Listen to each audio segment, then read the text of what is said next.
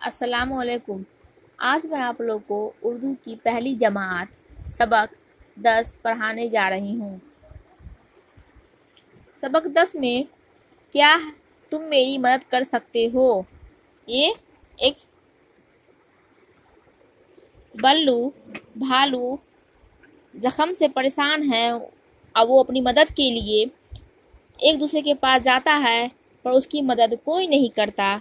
वो परेशान है, रो रहा है तो इसमें हम देखेंगे कि उसकी मदद कौन करता है।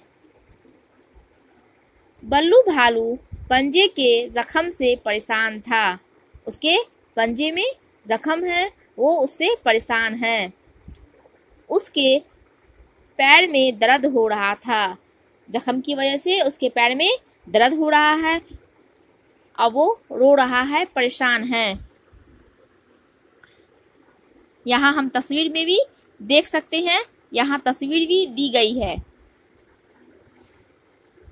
बल्लू, बिल्ली मौसी बिल्ली मौसी, क्या तुम मेरी मदद कर सकती हो? बल्लू रोते हुए बिल्ली के पास जाता है और कहता है, बिल्ली मौसी, क्या तुम मेरी मदद कर सकती हो? बिल्ली, माफ़ करो, मैं तुम्हारी कोई मदद नहीं कर सकती। बिल्ली इनकार कर देती है कि नहीं, मैं तुम्हारी कोई भी मदद नहीं कर सकती हूँ।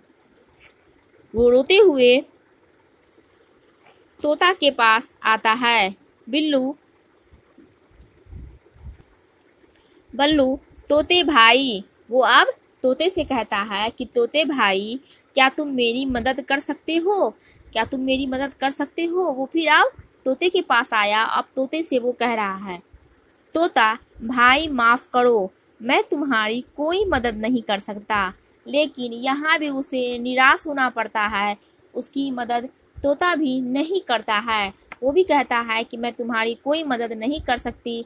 बिल्लू, बल्लू फिर निराश हो जाता है और रोने लगता है। और वो रोकर फिर आगे की तरफ़ बढ़ता है। बल्लू अब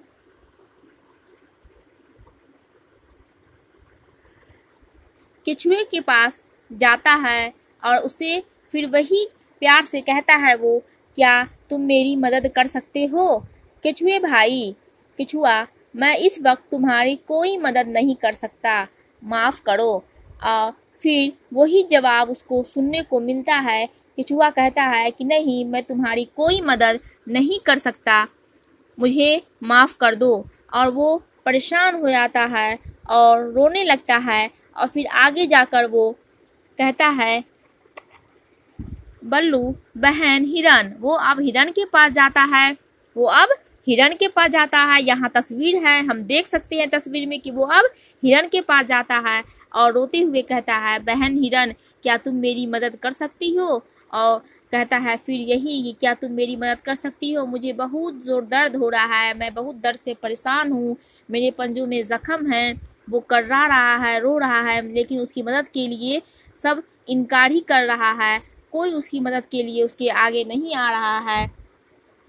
हिरन कहती है, मैं तुम्हारी कोई मदद नहीं कर सकती। हिरन भी यही जवाब देती है कि, नहीं बल्लू भाई, मैं तुम्हारी कोई मदद नहीं कर सकती। मुझे माफ़ कर दो, मुझे माफ़ कर दो, मैं तुम्हारी कोई मदद नहीं कर सकती। और वो निराश होकर परेशान हो जाता है, रोने लगता है और जाकर एक पेड़ के नी, के नीचे बैठ बैठ जाता है। और फिर थोड़ी ही देर के बाद वो देखता है कि अतहर और बदर उसके पा, पास जंगल से गुज़र रहा है तो वो अतहर और बदहर के पास, बदर के पास गया। बल्लू भाई फिर अतर और बदर के पास गया। बल्लू, क्या आप लोग मेरी मदद कर सकते हो? वो सोचा, अब इससे मदद मांग के देखते हैं, ये हमारी मदद करे। अतर आओ आओ, बल्लू। बदर, क्यों नहीं? हम तुम्हारी मदद ज़रूर करेंगे। वो दोनों बच्चे कहते हैं कि क्यों नहीं? मैं तुम्हारी मदद ज़रूर करूँगा। अब वो बल्लू का, बल्लू को मदद करता है। इस इस कहानी से हमें ये तालीम मिलती है कि हमें एक दूसरे की मदद करनी चाहिए। कोई अगर परेशान है, दर्द में है, उसे अगर मदद की ज़रूरत है तो हमें सबसे पहले आगे बढ़ के उसकी मदद करनी चाहिए और उसकी मदद करके उसके काम को आसान कर देना चाहिए, जिससे वो उस परेशानी से दूर हो जाए। अगर कोई हमारे पास कोई काम लेकर आता है तो उसके काम को हमें पूरा कर देना चाहिए, उसकी हमें मदद करनी चाहिए। सबको अच्छे से पढ़ लेना। खुदा हाफिज़।